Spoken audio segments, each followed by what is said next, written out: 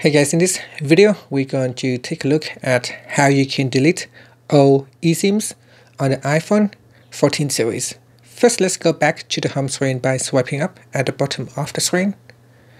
Then on the home screen, tap on Settings. In the Settings screen, swipe up to go down and tap on General. Then we go down and tap on Transfer or Reset iPhone. Next, tap on Reset then tap on delete all eSIMs. Now put in your screen passcode.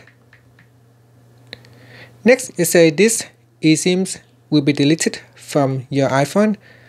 Your cellular plans will not be cancelled. Contact your carrier to get a new eSIM or cancel your plan. So once you are ready, just tap on delete all eSIMs to begin. Now in this case, I'm going to cancel because at the moment I do not want to proceed to removing my eSIMs. And that's it. Finally, you can swipe up to go back to the home screen. Thank you for watching this video. Please subscribe to my channel for more videos.